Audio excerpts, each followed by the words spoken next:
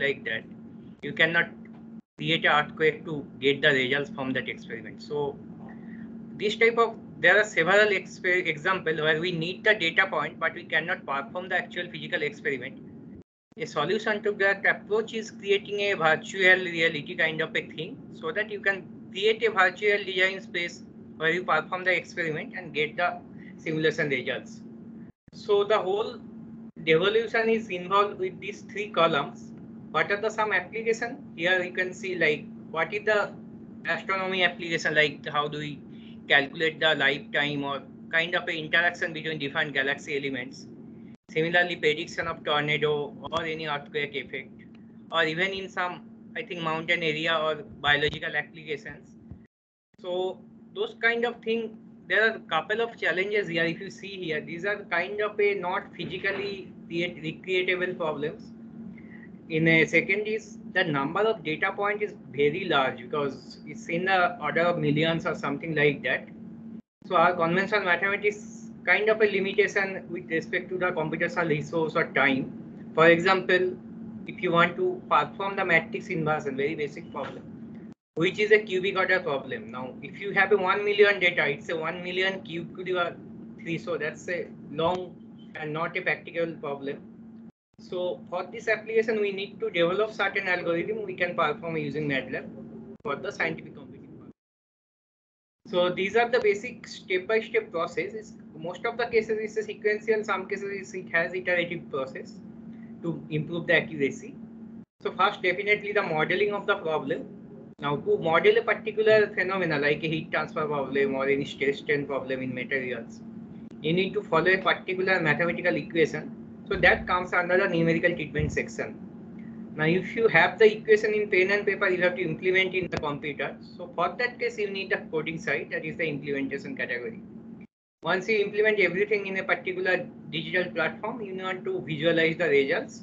So in that case, MATLAB can be quite useful for easy to use various uh, kind of visualization techniques are there. Finally, getting the results you want to integrate in a system like you have a large system like you can think of this large coil means LHC program which has several kind of scientists who are in different small small projects. If you to combine such small uh, project outcomes to a bigger results, you need a block simulation. In that case, Simulink can be an alternate solution. So these are the basic advantages of MATLAB compared to the other thing. It's kind of the terminology very similar to the, our, our mathematics textbook, whatever we read, like a sine function is defined by sine only, something like that. Second is that you can convert it easily to other platforms, C++ or Python. You can easily convert any MATLAB code to that and the vice versa is also possible. Third is the text support thing because it has a very, unlike most of the uh, simulation software, it has a very well documentation literature available open source. So anyone can go and try out those and ask questions. So these kind of advantages are there. So whenever we talk about MATLAB, it is the name actually coming from Matrix Laboratory. So matrix means it's not just involves only numerical data. There can be different types of data points if you think. One is definitely the structure of the data that can be a single number like a scalar or it can be one column vector or a row vector that's one dimensional data. If you have more dimensional then you can go to arrays or kind of matrix configuration. But what are the data types?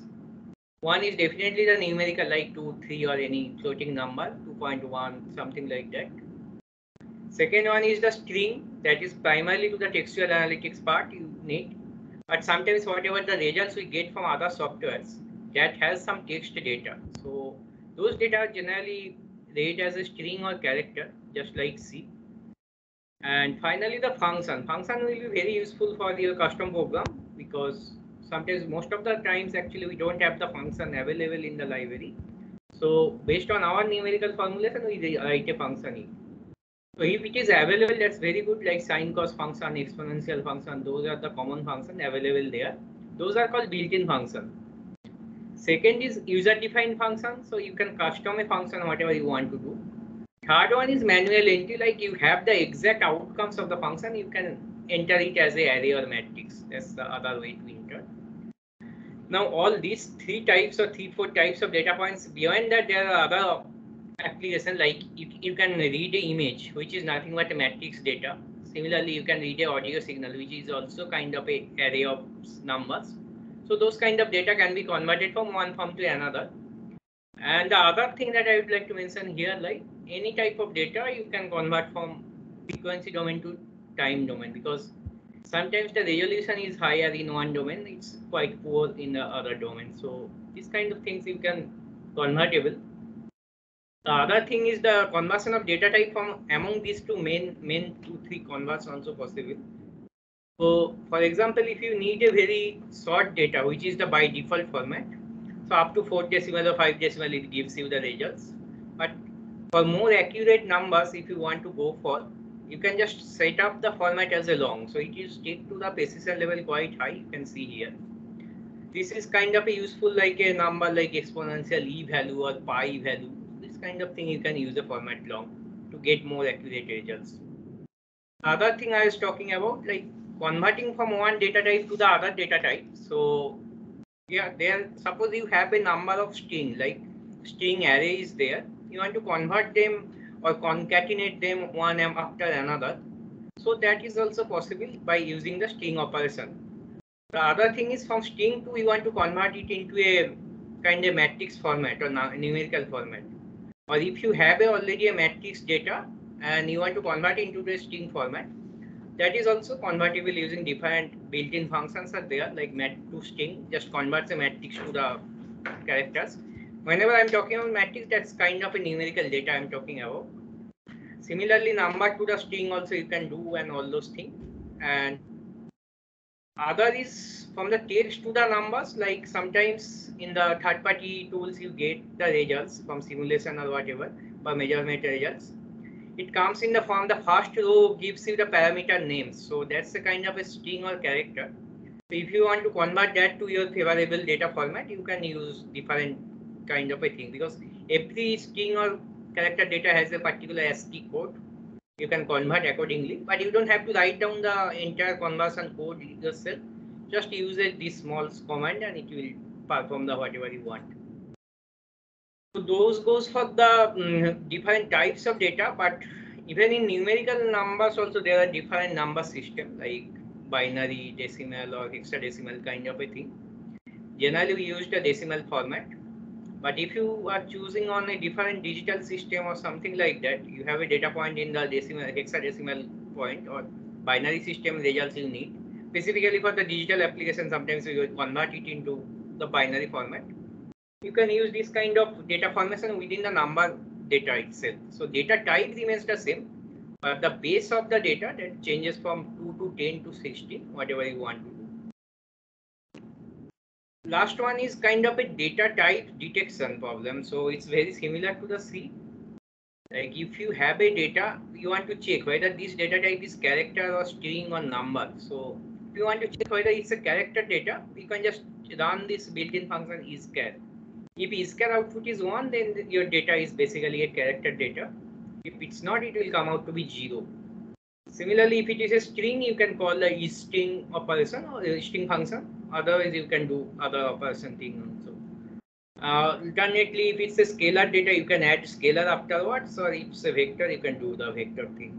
So this kind of easy to understand means from the command line we can understand what operation we are going to perform. So that's kind of an advantage in the MATLAB perspective. Now, once you have a set of data sets, sometimes you want to manipulate the data like combining in different format, like joining or splitting a data set, kind of a thing. That is also performable using a different English like commands, like join command. Just if you have two string s1 and s2, you just run a command join s1 comma s2. That will give you the combined string that is s1 s2. Uh, so similarly, if you have, a, for example, you have a two character uh, two string. One is metallurgy, second one is engineering. So S1 is metallurgy, second one is engineering, S2. We just run those two S1 comma S2 join, then it will just give you metallurgy engineering kind of operation it gives. So these things are actually useful when the visualization side mainly because sometimes we need a nice visualization of whatever the results we get. So the title or the column or X or Y column, we need to give a meaningful numbers as well as the meaningful names. Those kind of operation you can do. Similarly, for particular position of data you want to extract or you want to sort the data points, you can run all these comments are there. Second is you have a two data set, let's say. So how they are actually, if you want to compare whether they are actually same data or not, you can run like a for you have two strings. You want to match that they are matching or not. So for then you can just run a command string compare that is strcmpi. Now what's the application? For example, you have a large text data set.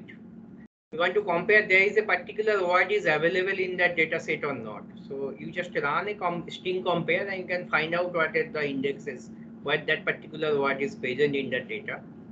This kind of operation can be performed easily. Now coming back to our mathematics side, we have the standard function, whatever we study in our trigonometry or our basic mathematics books sine, cos, tan, all are available. Similarly, if you want to perform the inverse operation, a cos or a sine or a tan is available. Default log function is log to the base e, and if you want to perform 10 base log, you can call the log 10. Similarly, if you want to round up a particular number to your nearest integer, like if you have a float number 1.3467, you want to get the nearest integer, you can call the round off so that which will give you one as output. Similarly, if you have a long data point, you want to perform the remainder. So you can do not perform manually the division operation.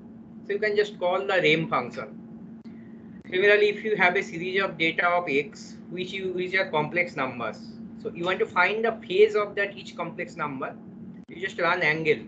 But just to be careful here, just whenever you run a new command, type help of the command name, which will give you the details. For example, in angle of x, it will give you the angle in basically radian format. So if you want to convert that to again degree, you have a command called rad to deg that is convert the radian to the degree operation. So whatever the doubt you have, you can just type. We'll do some hands-on. Can understand how we understand the command details and inputs and all these things.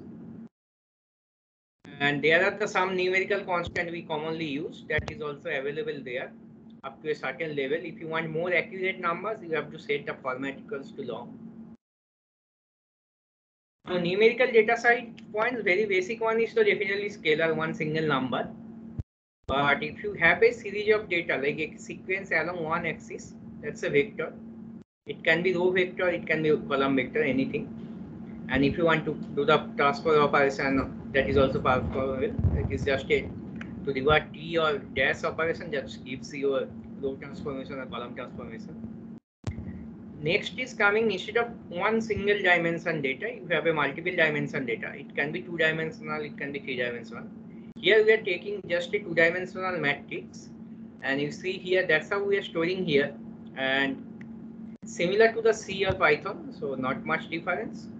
But once you have the matrix, suppose you want to play around the matrix data point like I have 1, 3 and 2, 4 column. I want to flip them up like upper to the lower row or the left to the right hand side column. So that is also possible. If you remember the approach, every MATLAB comment, we just directly take the English word. So if you want to flip, then the first command definitely will flip. And if you want to do the up to down, then UD, flip UD. So that's what it's doing. You see here, the first and second row are just uh, toggled together and if you want to do this thing for the left and right column so that is LR so flip is common and LR is just for left and right thing so that's to under interpretable next one is more complex operation like if you have a data point 3 cross r but you want to resize it to some your specific data structure like instead of 3 cross r you want a 2 by 6 dimension so you have a function called reshape that will convert this to this thing. So how does it read actually? If you notice here, it starts reading from the first towards the rows actually. So first column is done, then it starts from the second column like that way. So one and two goes for the first two rows, second, three and four, that goes the second column like that way.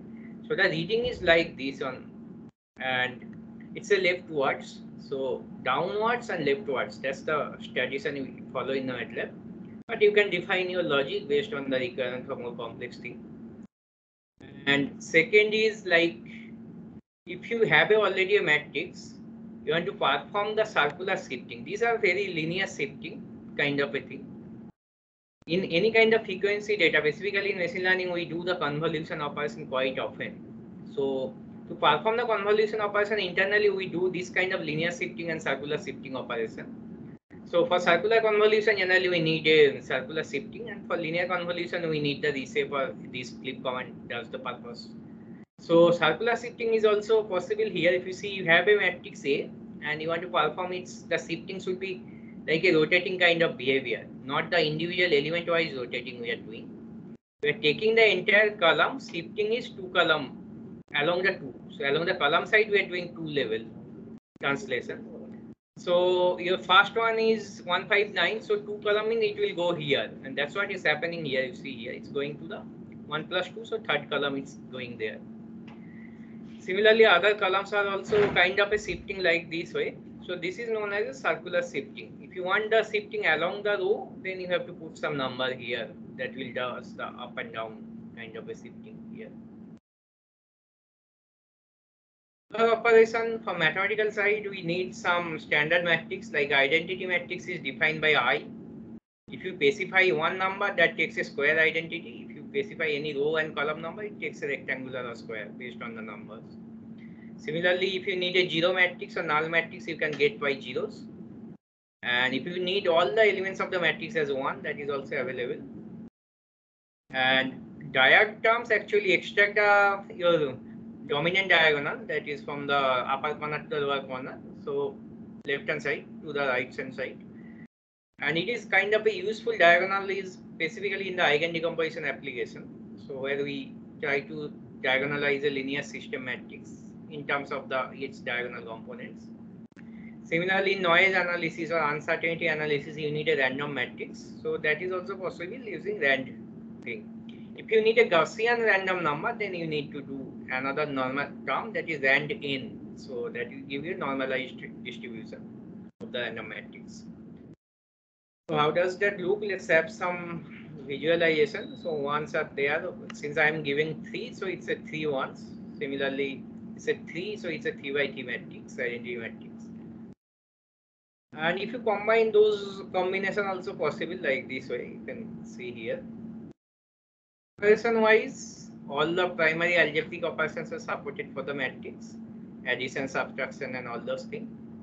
But there is one interesting thing here. If you see here, there are two types of multiplication and division thing is happening. One is regular multiplication, one is dot multiplication. So what is dot multiplication? So let's see. We take two matrices and we perform a regular matrix multiplication that is like row by column thing that is happening here. That's fine. Matrix actually does not perform the conventional matrix operation. Rather, it just maps each element of this A to the each element of the B. So 1 times 3 equals to 3. Similarly, 3 times 0 equals to 0. So in based on the index of the each matrix element, it just performs the whatever operation you are doing here. So that's the rule of the dot operation other is matrix inversion. So you can perform it using different way. There is a command called INV. So that will give you the matrix inversion. Or you can use the eigen decomposition. That is also another way of finding matrix inverse. So for getting the eigenvectors and eigenvalues, we have a default command dot .eig. If it's a symmetric matrix, you can use EIGS or EIGH. H for Hermitian matrix.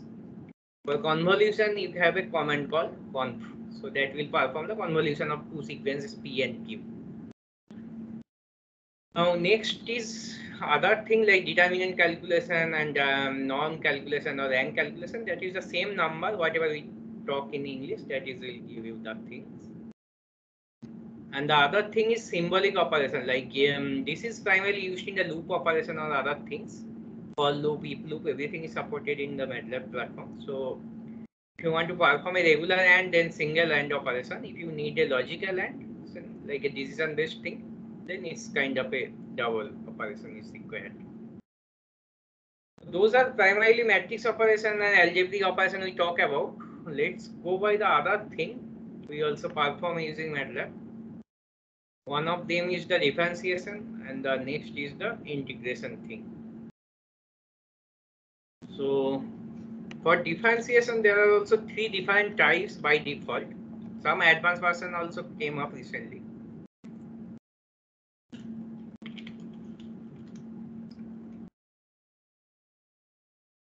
So first is finite difference derivative. So that is kind of a we are assuming your differentiation actually exists and it's a finite, not no infinite number will arrive. Three common approaches. One is the very old one that is diff. That gives you first order derivative. If you want the second derivative, then diff of some again diff of some x. So diff of diff of some function that will give you the second derivative. So if you have a long number, that's a very long operation. So later people have come up with alternate these two solutions, gradient and del 2.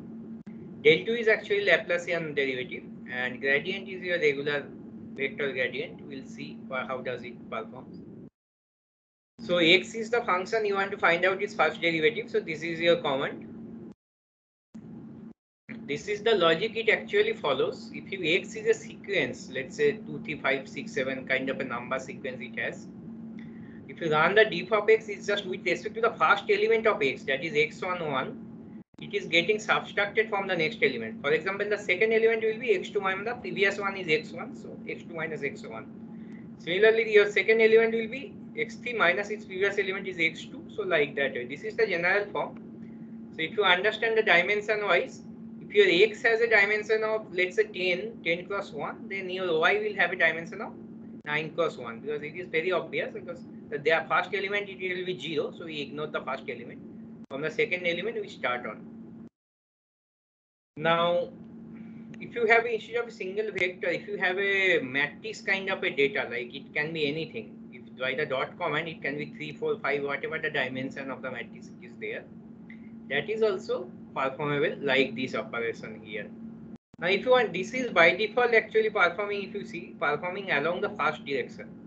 That is your one, second, again, the first index, that is the matrix, that is the row. So the differentiation is performing across the row. If you want to perform it across the other direction, you have to give the numbers and that is called a dimension. So we'll come it later, but before that, if you want to perform like a nth order derivative, for a third derivative, then you have to give this number n equals to 3 here. So it will perform the same operation whatever we are doing, but instead of one time, it will perform it three times. So y1 will be this, then y2 will be for the y1, and y3 will be for the y2 like that iteratively it will work on okay now next one is if x is a matrix that i was talking by default it takes the row wise data and performs the derivative. But if you want to perform along the column wise data then your dimension will be 2 now instead of x instead of 2 cos 3 matrix it's a 2 cos 3 cos 5 let's say the array size. And you're going to perform along the third dimension then that will be along the dimension will be 3 so if you don't give anything, n is taken as a 1 first derivative and dimension is taken as row, that is also the first dimension. So how does that work? Let's see one example. So if what you guess, this is I think 4 by 4. So your y will be 3, basically 7 cos 1. Uh, 1 cos 7. So now your first element will be definitely the first two elements same. So your second element is 1 minus 1 equals to 0. Then 2 minus 1 that is 1. 3 minus 2 equals to 1 like that it is going forward. Now you want to perform it with respect to double derivative. So first derivative will be something like I think it will be 5 minus 0, 5. Second one will be 15 minus 5, that is 10 like that.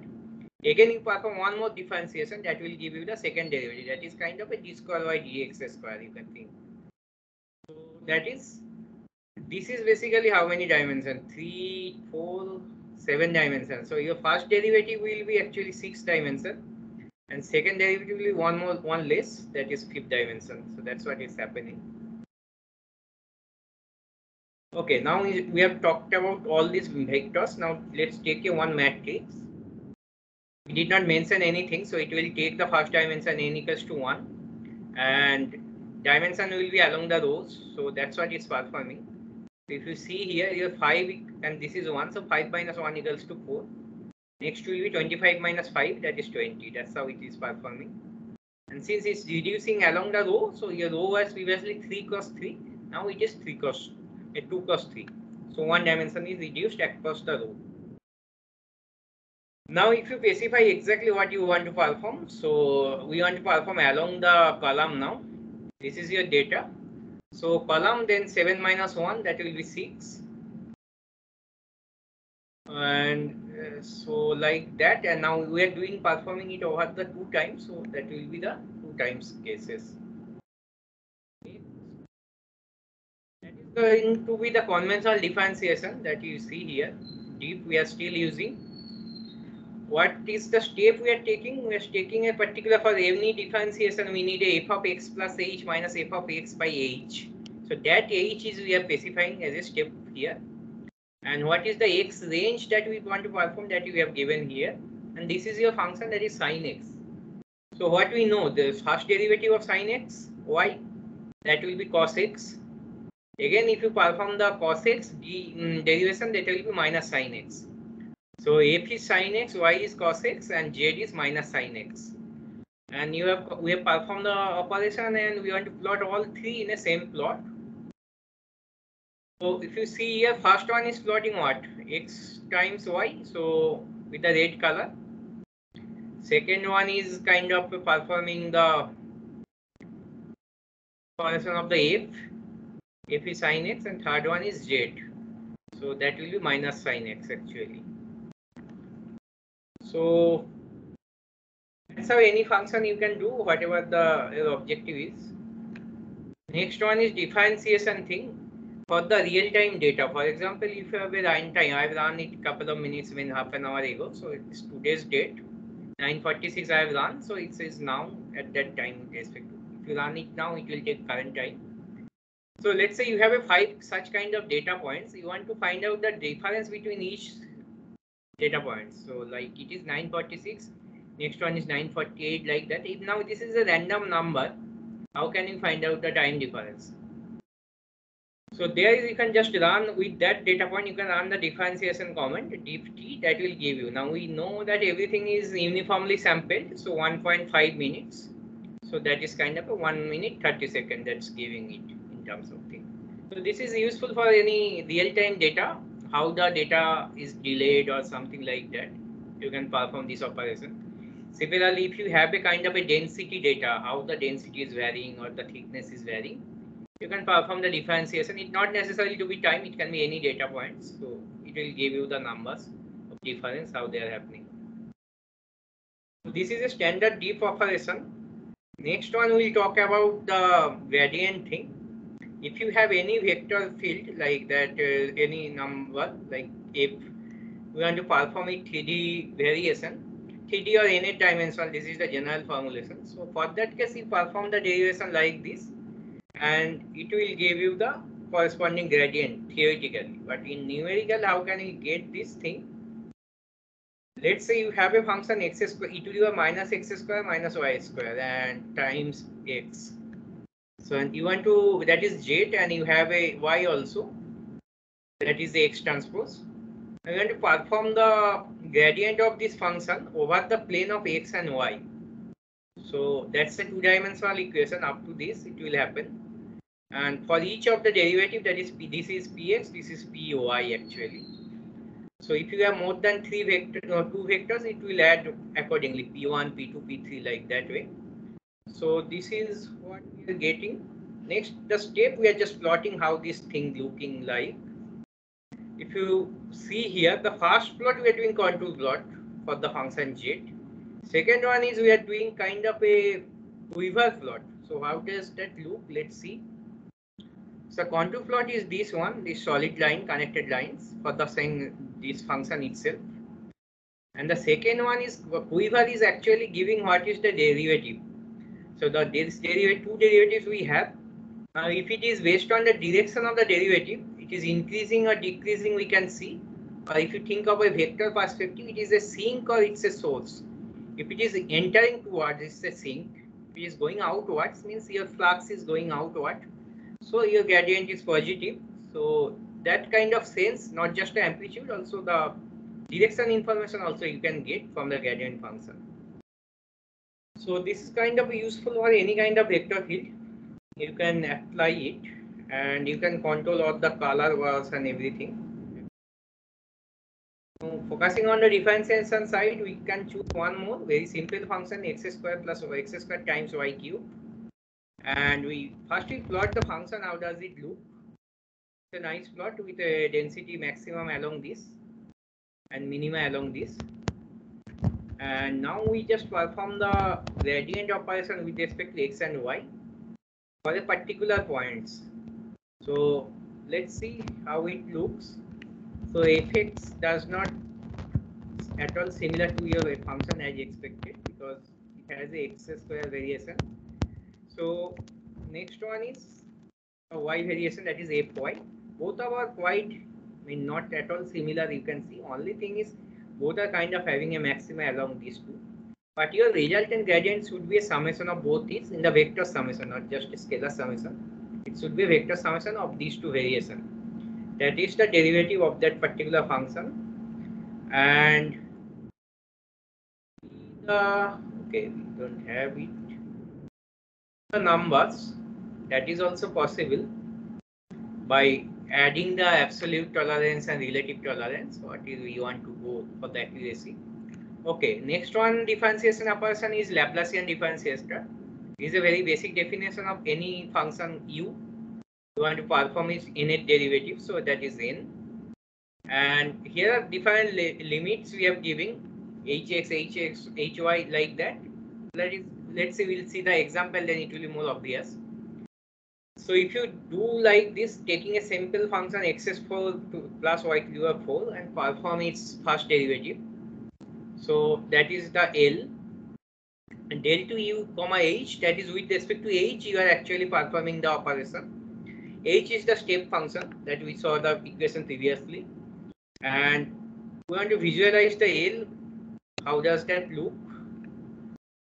So that is kind of your derivation you can see here. It has a minima along the center points, which is a parabolic kind of equation, similar to the parabolic equation and you get a maxima along the four corners. That is kind of expected behavior we are seeing. And we are plotting along the x and y plane. You can plot in other variables also. That is possible. And these are the first two arguments along which we are plotting and along which parameter we are plotting. That is the that is the input argument here. So what are the plots we learn here? If you see here, this is a surface plot which only plots the magnitude, no direction. If you want to see the linear plot, no direction, you can just use the surf. But if you want to plot a linear plot without direction, there is other way. One is the default plot function is there. Another is contour. If you want to add the kind of a direction with this, you can do the quiver. Quiver is applicable to both x and y and z also. You can add z its three dimensional is also possible the different common variation we use. Okay, so I was talking about the differentiation till now. Similarly, we can perform the integration operation also. Very old function is integral. Like deep, we have the integral function. Now, this also by default it's a first order integration. For example, if you have a function x to the power 5 e to the power minus x times sine x, you want to perform this integration with respect to 0 to infinity level of x. And you have set up the error. If you don't set up anything it will take the default value. Otherwise you can control the up to how much accurate value. This is relative tolerance. This is absolute tolerance. And you can get the numbers what it is looking like so it can be performed analytically so you can perform analytically and match with the results now second is l2 l2 actually gives you the second integration Similarly, L3 is, gives you the third order integral, like a volume integration you can think of. Second one is surface integration and first one is line integration. Now one can come up with a problem which has nth order, let's say fifth dimension or sixth dimension integration. We cannot write a new function every time. So what people do, like one way is like it's a quadrature approach you can do. Other is the iterative approach. So we'll see one fourth dimensional integration later on. Now let's stick to these three, the basic thing. third, the fourth one is quadrature. Quadrature is final uh, form kind of a thing in the recent literature. Very recently, it has come adaptive integral method, but quadrature is a quite stable solution for the last 50 years. If you want to perform it in the 2D plane, then you can have a, another variation that is quad 2D. Both are kind of a similar results. Okay, let's do for the second order integration surface integral. We have the same function x square plus vy square. And what are the numbers we have? We want to perform within this limit x equals to 0 to x equals to 5 and y equals to minus 5 to y equals to 0. We have a set the relative tolerance error and it will give you the actual numbers what we want to perform. So after calling the integral 2, we have to pass the function, whatever function we want to do. Since the function has the input argument x and y, we are giving these two variable x and y. So it determines the integration will be performed with respect to x and y. And next is the limit of the x and y, that's all. The remaining things are kind of a, you can think of a extra thing. End after 0, that will also be fine. And this will perform give you the approximate numbers of q. Let's perform one more volume integral like the thing. We have three parameters volume integration. That's why three variables required x, y, z. And we have the limit for each variable here also. No other error performance or anything we are adding. And we are just calling integral t for the third order performance. Is the numbers we are getting here. Now coming back to the initial discussion, let's say we don't have a third order, rather we have a fourth order thing or like that how we are going to perform that. So there is a way. First, we already know the second order or third order integration. We can perform what that again. That's what we are doing here. First, we are performing, we are defining the function, whatever it is there. Four variables are there. So since the four integration is happening, let's perform the third up to three integration we are performing theta phi and xi. So that is happening here like d eta d xi there is no variable so it's very easy. So we are taking the xi operation here and we are getting the result but we still have to perform the 0 to 2 pi operation here. So that is happening up to later on that is 0 to 2 so that is integral so three are done so one is remaining so we are taking just integral the first order integration here what that limit and that is performing the final output. And you can compare it with uh, your analytical result as a gamma function is there. That is also some approximate number will come up. That is going for the conventional integration approach now coming with the quadrature approach. Quadrature approach actually it's kind of a this function is expressed as a linear weighted sum so the weighting coefficient coming from the Gaussian quadrature and the function is coming from a any kind of exponential expansion you can do it You can do Taylor series or Maclaurin series, whatever you want. But it the accuracy depends on the weighting coefficient that is coming from the quadrature properties of the Gauss quadrature rules. So this the by default is a linear function. So you have only two limits a and b. For example, this function we are performing Gauss quadrature 0 to 1 for this thing. This is function definition input variable only x and you perform the integration that gives you these numbers. Now the other way is like not every time the functions are good enough. It might have 1 by 0 configuration that is called a singularity. For example, this function you see here. So if I put z equals to half, then the there will be 1 by 0 configuration. That's called a singularity point. That if you go by this way, that will create kind of a problem there because it will be infinite at certain location of z equals to 1 by 2. And z equals to 1 by 2 falls in this range itself. So one thing you can do, you can define your own contour. Like for a particular rectangle or particular circular contour, you can perform the integration. That's what we are doing here. And we are avoiding the singularity by defining a manual contour. And the contour can be inserted as a waypoint. So waypoints kind of a think of integration path points you can think. So along that path only the integration will be performed. And you are getting some numbers based on that. That is kind of a non means it's a finite number, so no singularity issue is arising. If you are accurate need to get more accurate result, you need to quantify the error performance that is given by another input output argument that is error bound. It can be any variable name you can give. It's not necessary this name you need. And it will give what amount of error it's actually tolerating. And the other final thing is 2D integration that is a quadrature 2D. Previously only AB was here because it was a one dimensional integration so a and b was there. Now we have two dimensional integration so cd is also appearing here. There also you can add the tolerance value in the input side that up to this level of relative tolerance or absolute tolerance we want to perform the operation. Otherwise you can do like this the default thing. And similarly in the output also you can get the error bound whatever you want and this name value means actually the tolerance numbers and tolerance name like reltol gives you relative tolerance, absolute gives you absolute tolerance thing. Let's perform the integration of this function in this range using the quad 2D. Quad 2D. So our in function definition we need the function signature here and you need the input argument variables what are x and y here and then you are just calling quad 2D and this is giving the limit so we need to find perform minus pi to 2 pi. And whatever the limit this will be minus I something it's wrong. So and this will be 0 to pi that is fine. And if this is the numbers you will get some results on this thing. Once you get everything numbers and all those things we still want to visualize the data points. So very basic thing is plot. That is a linear plot if you have multiple plots you can do like this. Otherwise if you want to plot the two variables along two different axes you have plot yy so that will give you two different axes. So this is a linear plot. Surface plot we have seen there previously.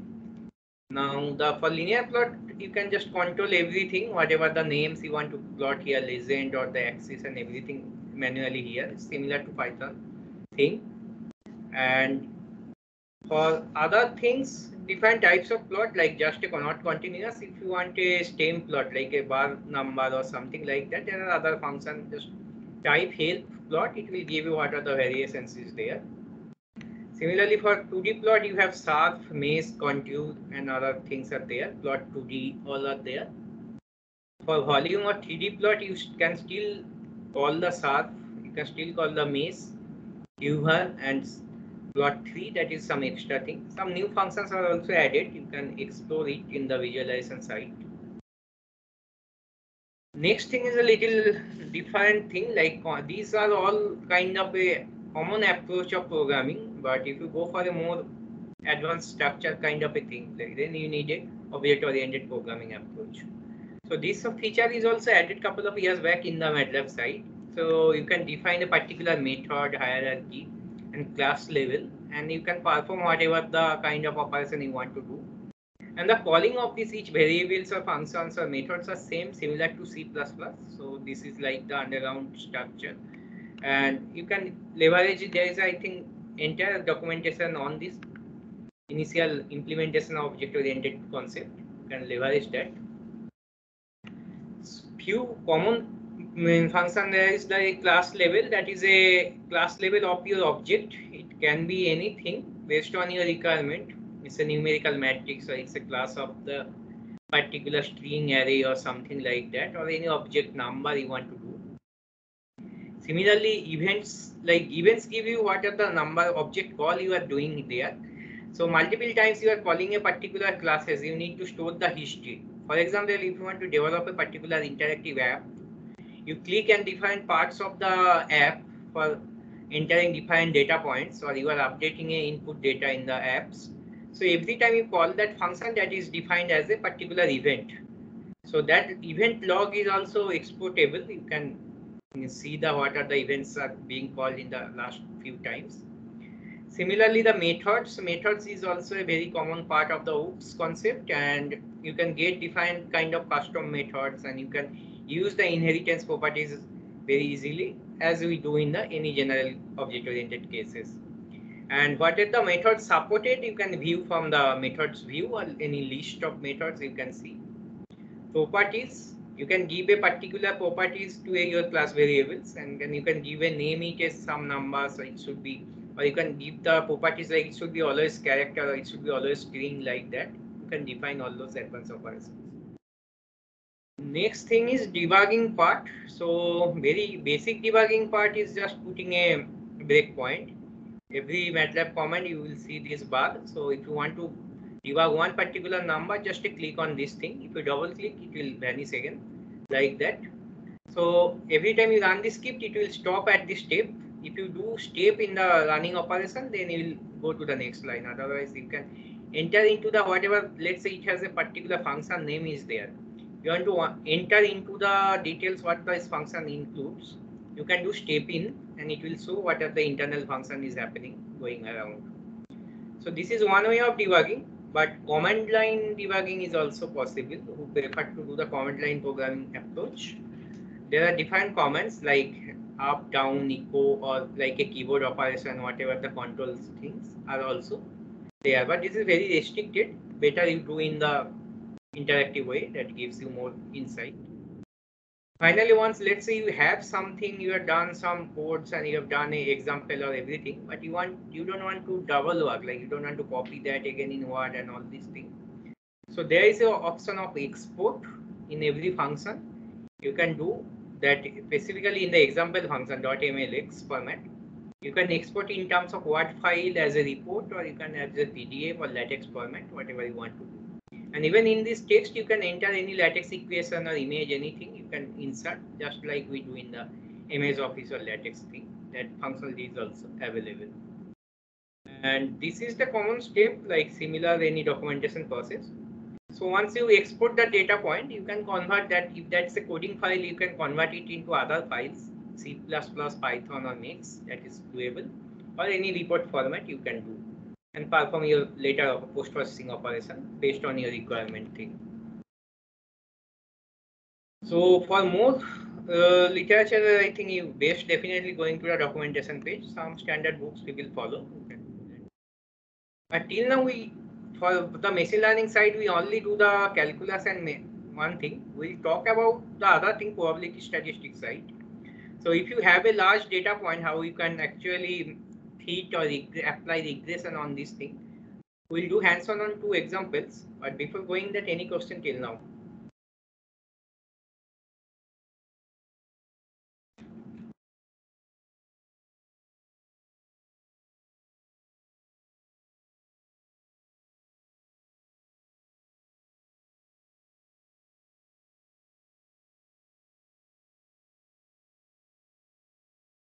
Okay.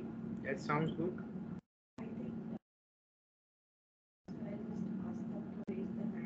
Okay. Uh, I request the participants, like if you have any query to sir, please raise the hand and uh, we will unmute you.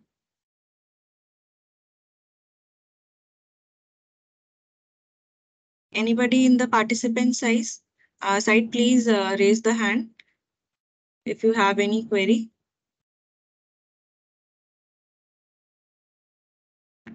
Just wait.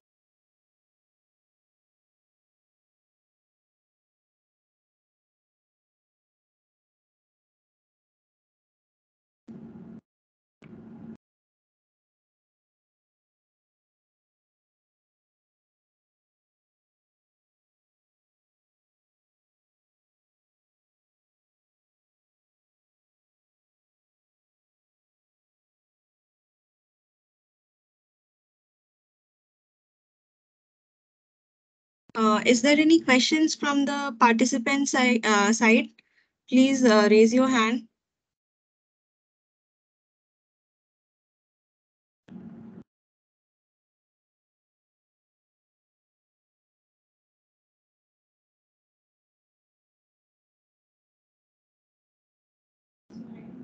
Yeah, that's fine. I think we can take question in the last. Okay. Thank you uh, so much, sir, for your insightful and extremely detailed tutorial for MATLAB. Thank you. Uh, sir, I think uh, someone is there. Okay, just. Uh, hi, sir. I'm Rakesh Mathur from IIT Jodhpur. and uh, I'm wondering that uh, how this uh, MATLAB is useful in AI.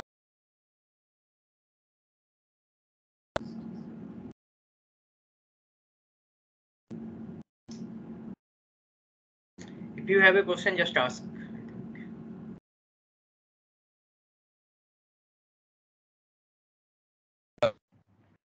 I'm I'm wondering like uh, how this MATLAB is useful in AI, artificial intelligence and material engineering. Uh, can you uh, uh, light that? Can you correlate Hello, that? uh, Rakesh sir, you can uh, proceed with your question. Uh, hello, hello. I'm audible. Hello. Uh, yes. Uh, my question is. Yes, my question is that uh, how this MATLAB is uh, uh, in correlation with material engineering and artificial intelligence. Can you uh, give light on that? Okay, so that's a good question. So whatever the literature I was going through, most of your material science experimental side, you need a lot of data points, right? Specifically, let's say glacier kinds of thing or this kind of material mining exploration. Two types of application I can think of. One is the you have a lot of raw data from some industry plants. You want to find out what are the important parameters of that data points that you need to choose and you can optimize the output of that plant. Like if you have a thermal plant or a material plant, so what will be the parameter, input parameter you need to optimize and get the best output. So detection of this input parameter can be performed using MATLAB. There is something called design exploration of the input space. So that which is a beginning of the parametric optimization thing that can be performed in MATLAB. The other thing is to optimize any particular algorithm. Like if you have a other kind of simulation tools, but you cannot generate the data all the time. So if you want to interpolate or extrapolate a particular data points, you can leverage the Mat MATLAB features very easily to create a intermediate data points, which is kind of sometimes we call it as a bootstrapping in the machine learning side. So this kind of data point generation is one way. The other thing is visualization because it has a lot of interactive apps. So you can use that data points to visualize in a in a favorable way to present to the author or whatever audience based on your requirement. So the machine learning part will be covered later on. It's not in this part of this lecture. We will have a second lecture on the machine learning using MATLAB thing.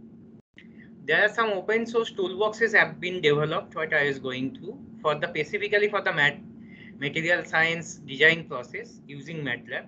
You can explore that. And you can integrate those toolbox in your existing MATLAB platform. That is also possible. I hope that kind of covers your question. Any doubts? Uh, thank you, sir. Thank you very much.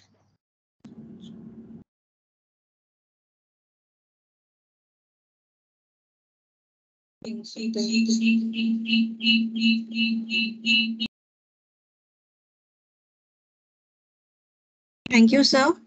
Uh, so I think uh, we don't have any further questions. So Okay, thank you so much. So let's go the hands-on side. I think basically related to couple of example fitting linear regression side. So I'll share a different file.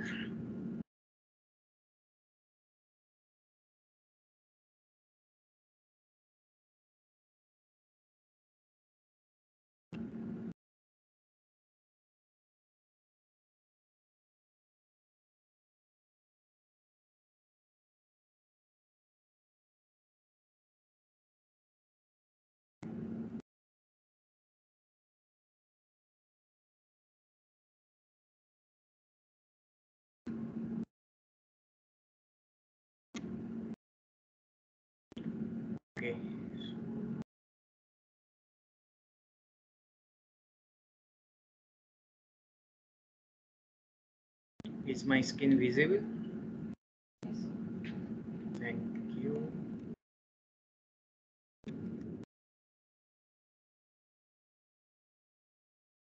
So the basic platform of MATLAB looks like this kind of it. This is your scripting platform. This is command window. And whatever the input or outcome variables that will be here. we don't have anything currently. Whatever the function you will have here, that will be here also. So that's how we'll do. So first we'll do one curve fitting example here. Let's load a particular data point. So we have two data points here. Temperature and thermal excitation parameters. You see here, once we run that particular example, it is just storing that particular data. Each are column data, 236 date, mm, size. So these are the temperature and corresponding thermal excitation coefficients are there, like this. Now, this is a very raw data. If we just visualize this thing, now we are just to get the uh, thing kind of a using an app.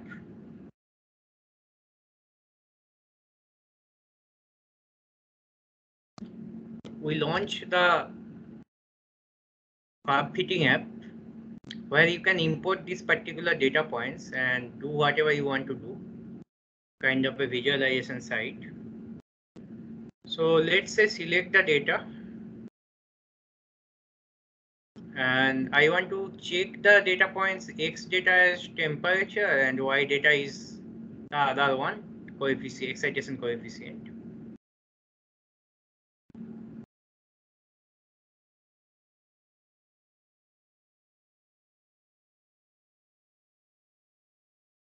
Okay, so if you don't have any particular, I mean, we want to plot the temperature versus thermal excitation. And if you just an unfit configuration, you see it's a very petty, bad or poor performance. And if you want to perform the fitting over these data points so that we get a good looking equation or like this. Sorry to interrupt. It's linear y equals to mx plus c that is shown here actually. So And- sorry to interrupt. Black screen is showing. Visible? Okay, hold on. I think my screen is not visible. Okay.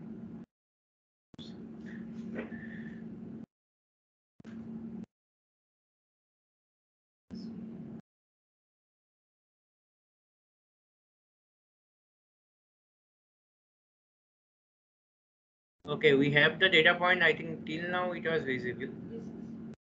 The app side, we are opening the app that is called a curve fitting app. And we want to select a particular curve data point. So let's go to the data. We have two data. And fit curve name, we can give anything. Untitled feet or whatever Let's keep it like that.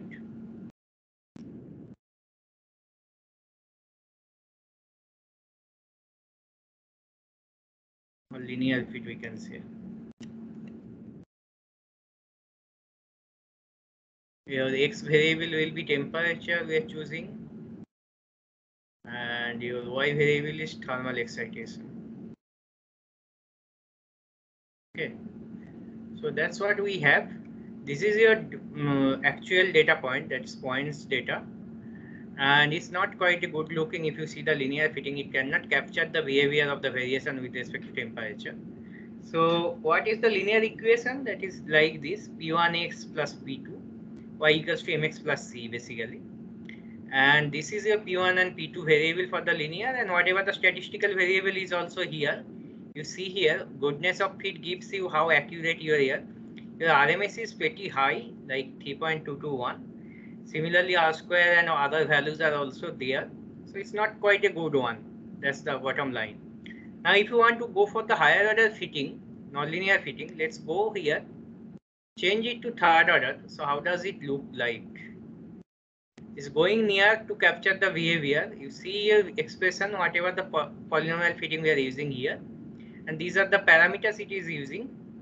And every time we just approximate to this third order in thing, we actually doing something like kind of error bound. So these are the in the bracket it gives it the maximum and minimum error for each coefficients and you see your RMS is kind of changing with respect to the, that thing. And next thing, if you want to more accurate, let's go to the fifth order. Kind of captures whatever we want. If you see the equation is badly conditioned, that's absolutely fine, but it still captures whatever we are actually doing here and all the coefficient of the fifth order is kind of here. Next thing, if you want to make this model more robust, like if you add a noise or something like that, it still works quite up to certain error performance. You can choose this kind of robustness bisquare or linear uh, AR, whatever you want to. Now this is how you can do. Now the other, this is kind of a polynomial fitting I am just showing here. If you see the top one, you have defined other types of fitting option is also there. One is the exponential thing. So let's see how good or bad it gives. It's not at all good here, which is kind of expected because we're choosing only the first term. And if you choose the next term, this kind of covers the thing. So you, for every type of fitting, you can get the actual error performance data automatically. So that tells you comparison of data, which kind of fitting model you will choose. So for exponential till now, up to second order is supported in the app. For polynomial up to ninth order it's supported. Let's see why the Gaussian case. It's pretty bad, you can see here. And the equation that is following that is also showing up, you can see here. So little upper Gaussian if you go, I think it should cover kind of, but it's still not that good as we are doing from the linear fitting. The linear fifth order was kind of accurate thing. And the Gaussian case, I think it's kind of, you see, it's kind of overfitting actually. The results in the upper point is just not at all matching the behavior. So better not to use this. So based on that, the visualization, you can get an idea what kind of fitting you need. Similar other options are there, multiple ways to regression models are there. These are, you have the data point and within that data point only we are doing the performance if you want to do the extrapol interpolation performance, like you don't have a data point for a particular temperature, like 450, you don't have a, let's say you have a data, you can use the interpolation operation for this thing. Similarly, any custom equation, if you want to do, you can do like this. So you can write your own equation and get whatever you want to perform there. So this is by default equation. You can change it to anything you want to do. So by default, a into e to the minus bx plus c. That's a very bad way. So you can do something like that c into x like this or something like this. It gives a different format of thing. If you are know that this is this will be look like your particular closed form solution, then you can use it. Otherwise, use the conventional linear thing. That's a pretty good one.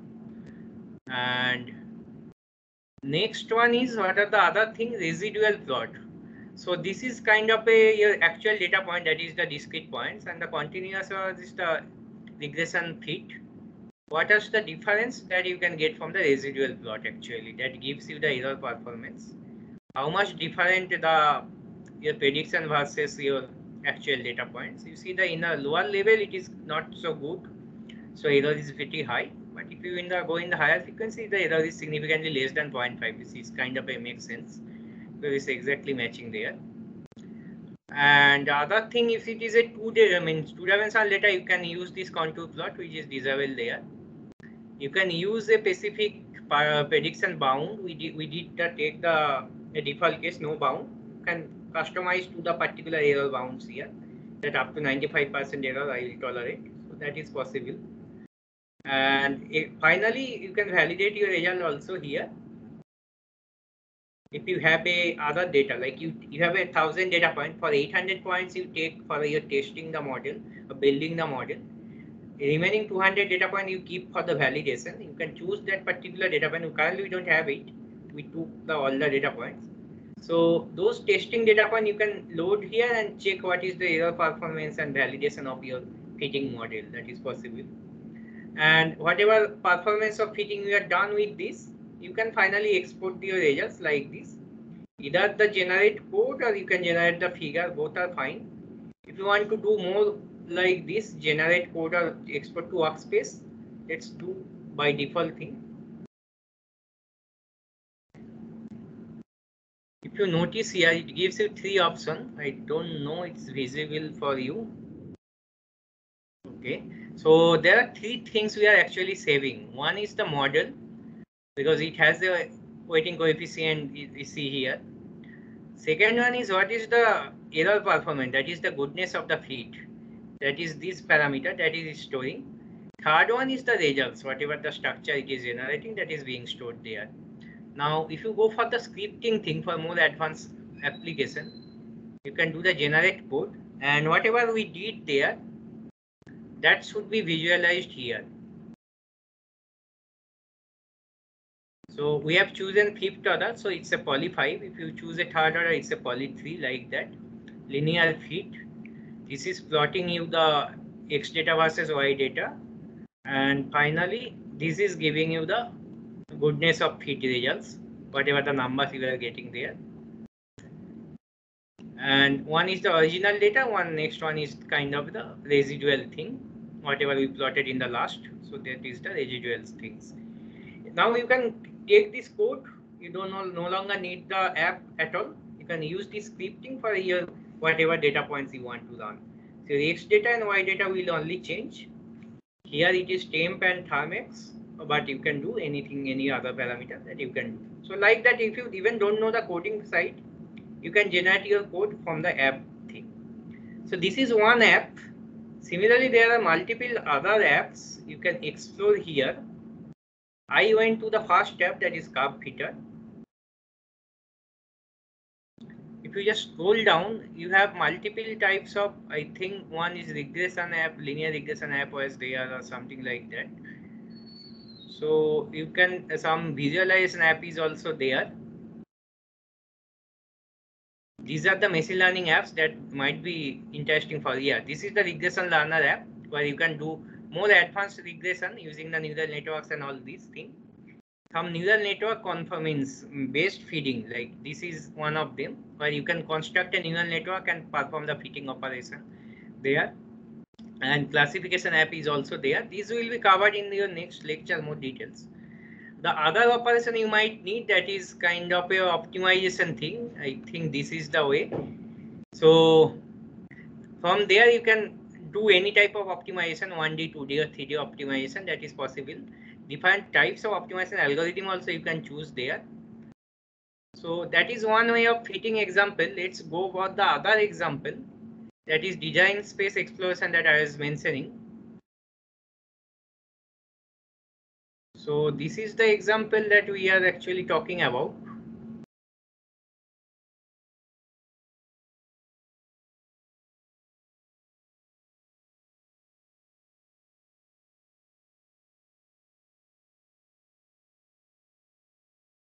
And to go to the location of the example of file location, you can just go to change to file. That is common thing. Okay. So this actually talks about this thing. If you have a particular thermal equation of a reactor or something material, how you can actually model the its thermodynamics properties and all those things. This is a standard thermodynamics relation that we are going to model. These are the equation, CSTR equation for the reactor and how the different input parameters sensitive to the output. So if I do a 10% change of the input parameter, how it big or small it will affect the output that we are going to analyze. So these are the parameters and this is your system model actually. So any plant based kind of a thing, you can build your model or you can this is a kind of a connecting blocks app based workflow, but you can do it in scripting also if you have the input parameters. And these are your output. These are your input parameters.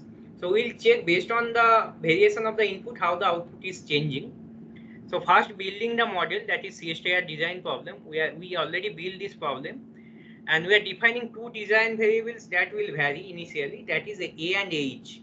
What are A and H? A is kind of a height um, h is the height and a, a is the surface area actually in meter square and second is that will that will vary up to which range so we are specifying a particular distribution within which it will range so your a will vary up to 0.2 to 2 percent so your minimum a and maximum a we are giving similarly the range for the height we are giving like this you can give based on your parameter definition now that will run for the entire parameter space. And finally, once we get, we can sample that parameter space for 30 sample points. So let's do perform that operation in the beginning.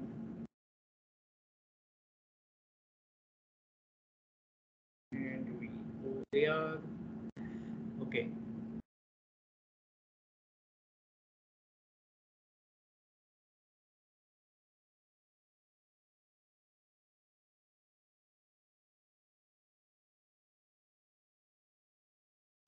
So we have already built the model.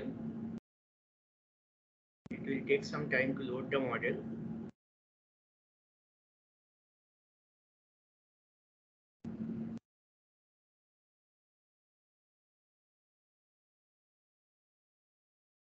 It's actually internally launching the Simulink thing, which gives you this block diagram. Any physical system can be modeled using this.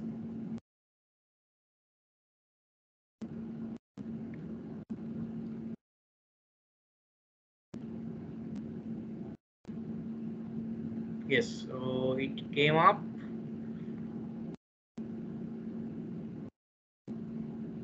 Yeah, so that's exactly we have the feed um, initial condition, we have the concentration and the temperature parameter and the coolant temperature, everything is there. This is your thermodynamic system and this is your outputs. So let's extract the our input variables out of this model. So that is what we are doing here, get parameter from the model. What are the parameters we want to extract? A and H. So now if you see your P here, or you can type P here. So it has two variable. First variable is A, whose default value is 0.5. minima and maxima are not defined, so it's minus infinity to plus infinity. Similarly, for the second variable, it's H, value is default value is 2. Now we'll update its minima and maxima for each variables. That range we want to vary that particular parameter. So let's first go for the A thing. A is the first one. So P1 is A. And second one is P2. Now if you type the P again, So we have given 0.2 and 2 for A and 0.5 and 3 for H. So you get the maxima minima things updated, but still they are only the extreme points. You need the sample space between them. So that's what we are doing here. Now P is your sample space. So if you want to visualize the sample space, there is something will show afterwards. With 30 sample points, we are just doing it. So this is, you are just discretizing within that maximum and minima range, we are creating 30 data points for each A and H. So next one is we want to visualize the sample space. So scatter plot is kind of a two-dimensional plot that will give you the sample space. So you see here, so A and H. So first, this is the correlation between A and H, like this. Similarly, this is the this should be same because here also A and H are correlating. And for only for self correlation, that is kind of this. And for this is for H, this is for A. So this kind of sample space, you have the data points now.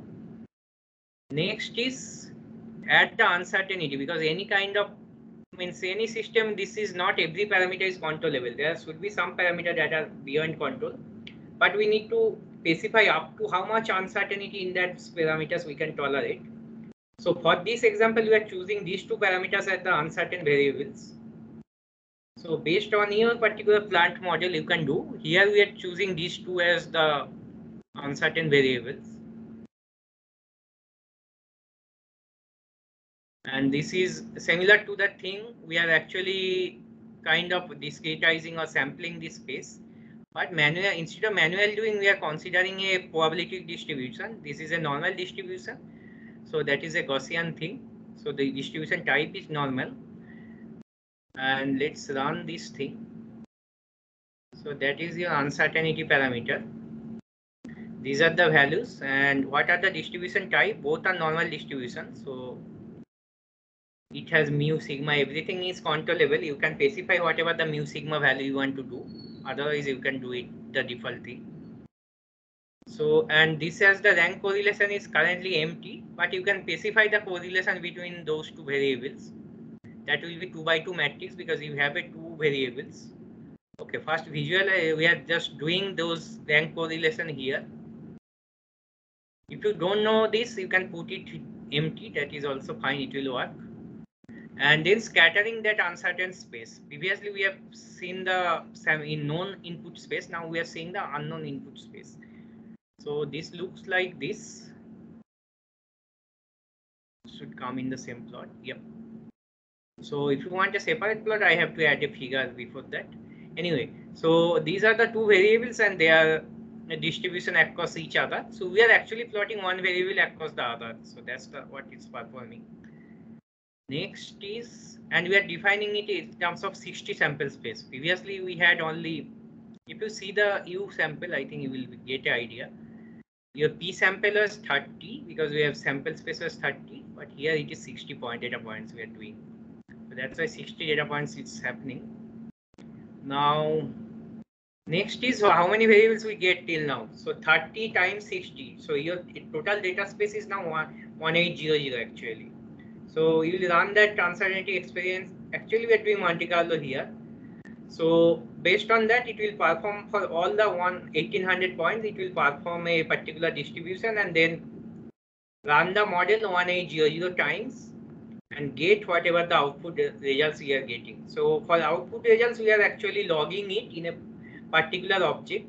You see here, this is kind of object-oriented programming approach because we have a common object that is concentration. Underneath that object, we have the multiple variables we are storing here in the hierarchy way. So any types of variable you can actually define based on your requirement. And then actually perform whatever you have this is my logging information I am interested, but based on your requirement, you can change it. So this is all set. I think to perform the uncertainty test, simulation is should be all are done. Now just run the experiment. Evaluation will run it. Yeah, yeah. We'll take the question afterward. Yeah, yeah. So let's do this thing. For all sample space and unknown sample space, it will perform the experiment.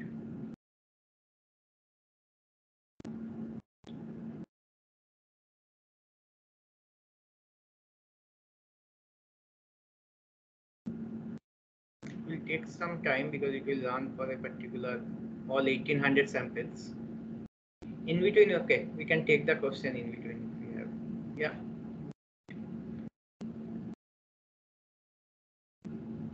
Okay, so if anybody has a question, please uh, raise the hand.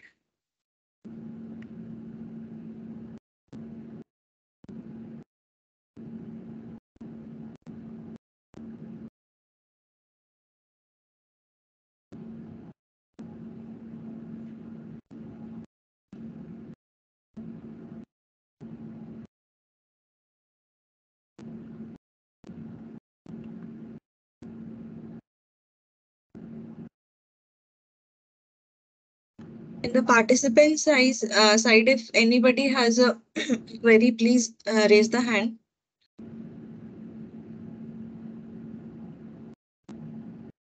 Okay, okay, okay. Yes.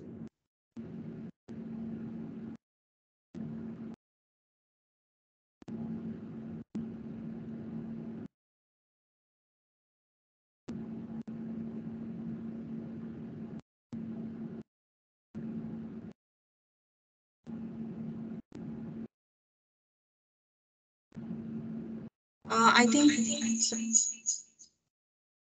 you can proceed with the uh, question. Uh, who's this? The guest side who is uh, raising the hand. Please proceed with your question. We have unmuted you.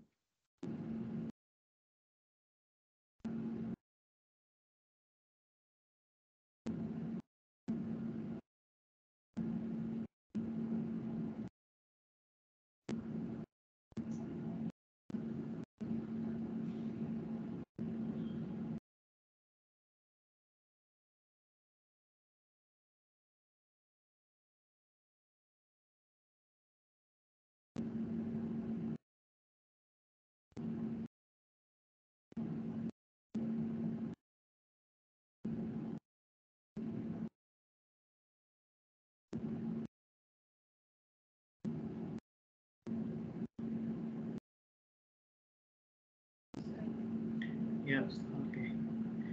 So I think it's taking a longer time to run.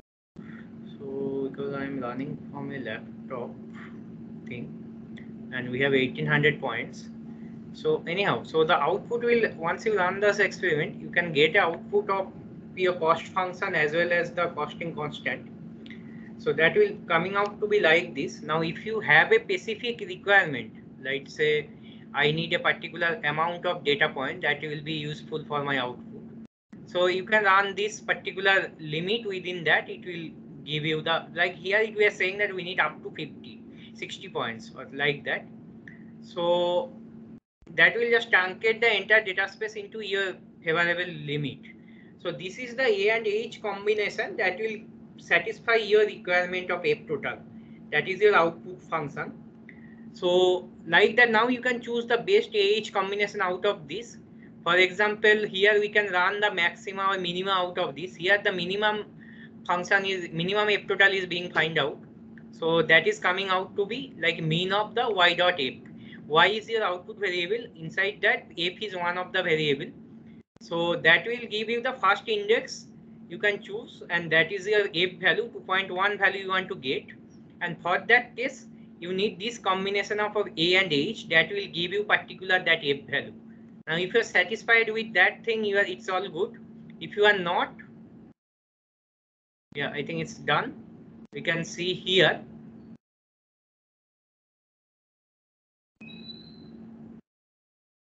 The scatter data is now coming like this way.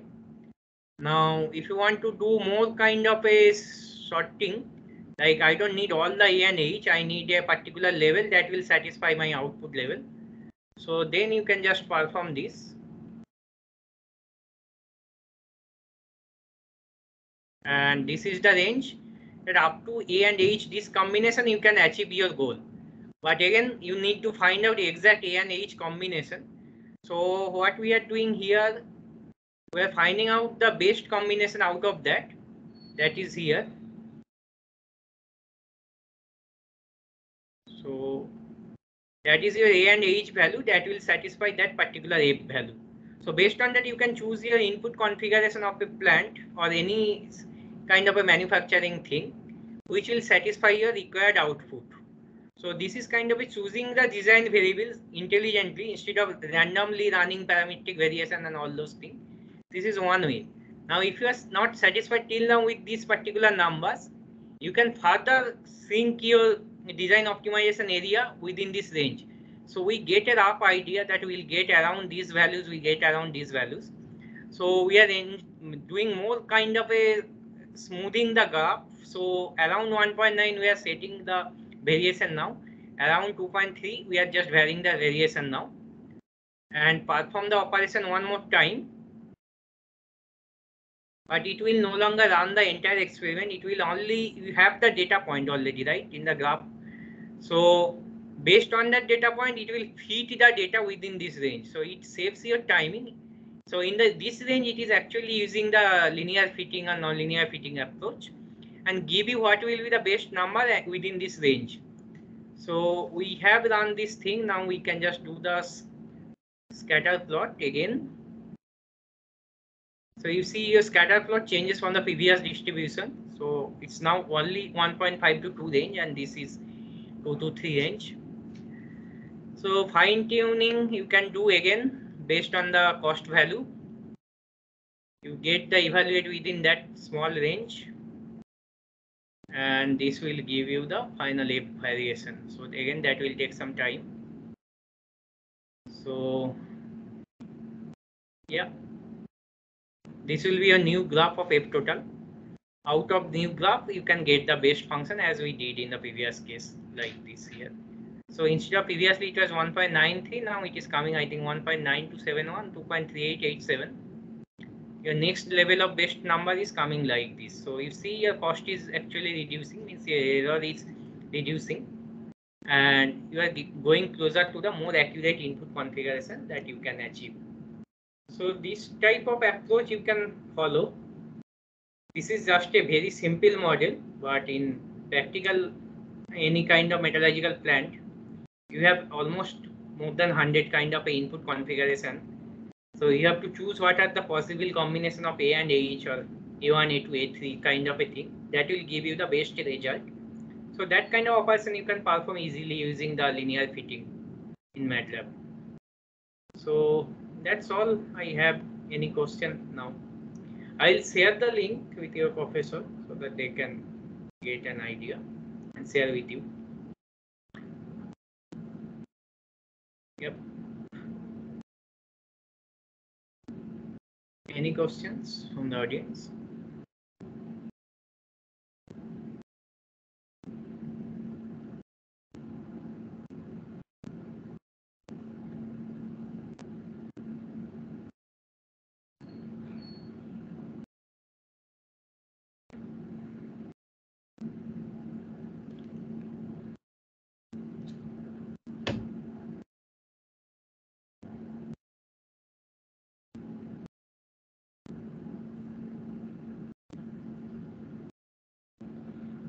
Okay.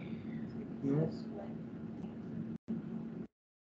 If no question, that is also we understand, we acknowledge it that you have understood it. If you have any doubts, you have my mail. You can send drop me a mail, and whoever the students in the institute, they can also directly contact me in my office. Open. Yeah. Thank you.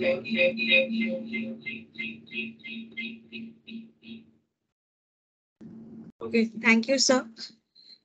Uh, so here we are ending the session two and uh, we will meet for the third session in the second half that starts from 2 p.m. So thank you, everyone. Thank you. Bye.